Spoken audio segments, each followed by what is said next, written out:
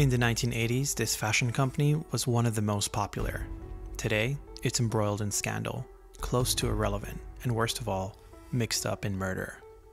On the 1st of August 2017, near the Chubut River in Argentina, a dead body was found. The subject? Santiago Maldonado. This is where divers found the body of activist Santiago Maldonado. His cause of death? Asphyxia and hypothermia, meaning he drowned, or maybe was drowned. They're asking why the body was found in an area police had already searched. Santiago was an Argentine activist, which on its own isn't significant. What is significant is what he was demonstrating against. In the 1980s and 1990s, Benetton was an iconic brand.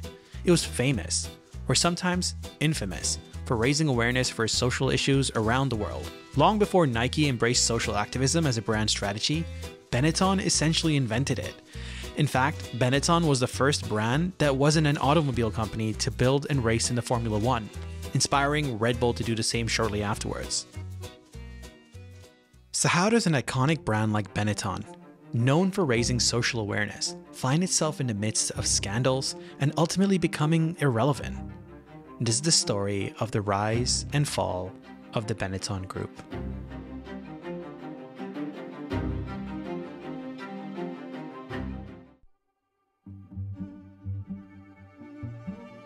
The 80s was a bad time for race relations. There was the New Cross Road fire in London, the crack epidemic in the US, the apartheid in South Africa.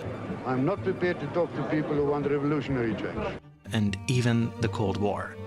But despite the bad times, one brand was having a really good time. Runaway success in the fashion industry is one way to describe the sensation caused by the Italian Benetton firm.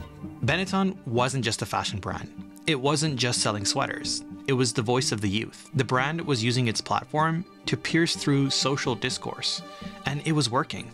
In the 1980s, Benetton was a cultural phenomenon.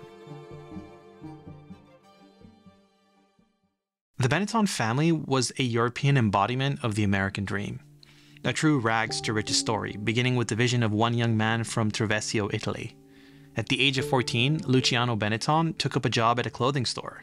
His father's premature death, his mother's heart condition, meant that both he and his 11 year old sister, Giuliana, had to start working. Over the next few years, Luciano grew into a seasoned sales clerk at Della Siega, a local clothing store. European clothing stores in the 1950s weren't like they are today.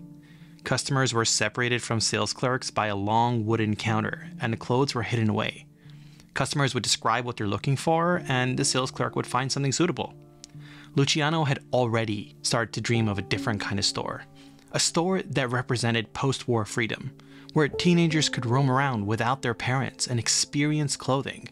A store with bright colors, stylish clothing, all at a reasonable price. A store for discovery, where customers didn't even know what they wanted yet. This idea came to reality when Luciano teamed up with his sister to start producing and selling bright, colorful sweaters. Within four months, Luciano was able to sell 20 sweaters a week. They called the brand Très Jolie. The brand grew quickly. More and more stores were holding their stock, but by 1965, Luciano decided to change strategies. They needed to control the customer experience, so they decided to set up stores that only carried their product. The brand was renamed United Colors of Benetton. The genius behind Benetton's early growth was the franchise model. Benetton decided that instead of spending capital in building their own store locations, they would partner with individuals who had the capital and the right attitude to set up Benetton stores. Benetton did not require any royalties nor any stake in the partner's business. The only requirement was that the franchise abide by the strict rules on how to operate the stores and hold exclusively Benetton stock. Benetton stores were small but vibrant. Each store had floor to ceiling shelves that housed colorful sweaters that they became renowned for.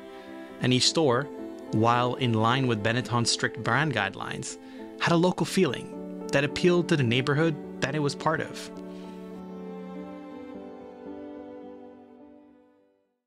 By 1975, Benetton had over 200 stores, each stocking slightly different merchandise that reflected the current mood of the neighborhood. This allowed Benetton to diversify its styles and hedge against any downside risk if one color or style was a complete flop. Benetton pioneered fast production processes. Inspired by the Japanese Kanban approach, they started dyeing finished garments instead of yarn.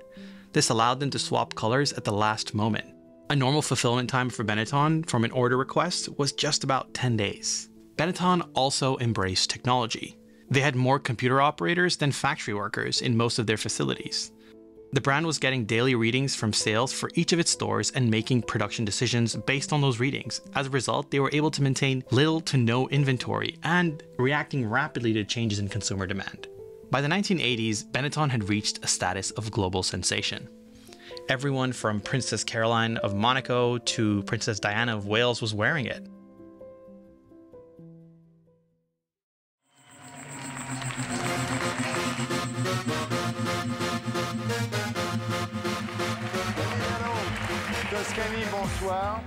The era of Toscani and Benetton represented the best and most controversial times for the brand. I don't give a damn about consensus. If they like it, great. If they don't like it, what can I do? Toscani was not like other photographers at the time. He was a pioneer of captioning pertinent but taboo topics of the moment, from AIDS epidemic to Israel Palestine to the LGBTQ. If it was relevant and controversial, he was covering it. Creator and photographer Oliviero Toscani is trying to show how ordinary Jews and Palestinians who live and work together can knock down the barriers of hatred and religious and racial differences. The sweaters would sell regardless, said Toscani, so we had to use our relevance to talk about the important issues of the moment. When Gorbachev visited Paris in the mid 1980s, he saw an ad of two kids kissing, one holding the US flag, and the other a Soviet one.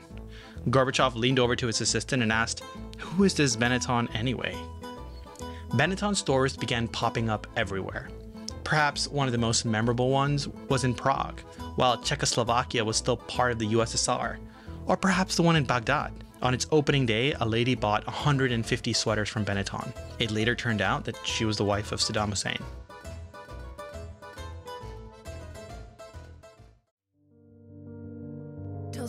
Was at the helm of Benetton's groundbreaking campaigns in the 1990s. The clothes took a back seat. By the early 90s, a strategy that was considered pioneering and provocative soon turned distasteful. I think it's gone on even further than the, than the baby advertisement. I think that Benetton are attempting yet again to, to develop a very positive image um, about AIDS in this particular ad but they've lost track of, of, of public taste in, in, this one. Most famously, the campaign that used the killing of Benedetto Grado in Palermo was extremely controversial and really ill received. How does my father's death enter into the publicity for sweaters? said his daughter. There are important questions to be asked of Benetton on whether their marketing strategy was genuinely culture shifting, or whether it was just leveraging on the shock factor to gain attention. As time passed, more people began to feel that Benetton had gone too far. Benetton is essentially taking convicted killers, some of the worst murderers in America, and glorifying and romanticizing them and turning them into poster boys. And once the tides had turned, the bad press kept coming.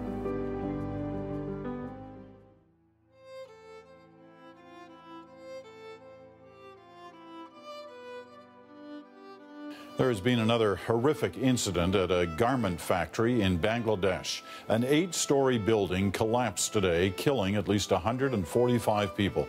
Rana Plaza was one of the most devastating incidents in modern fashion history.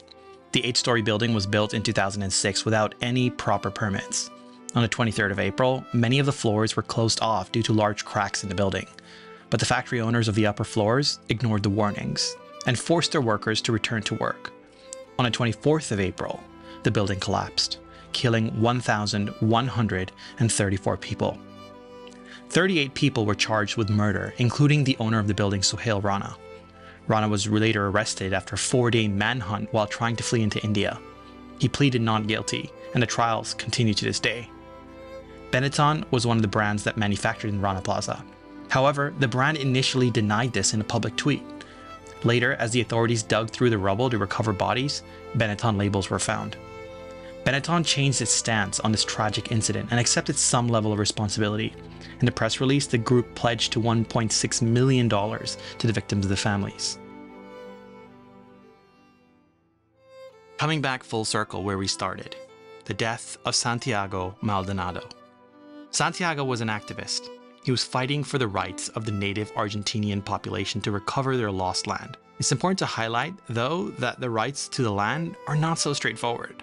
From 11,000 BCE, the Mapuche people have lived in Patagonia. However, from 1878 through 1885, the Argentine state seized those lands intending to expand their territory for agriculture.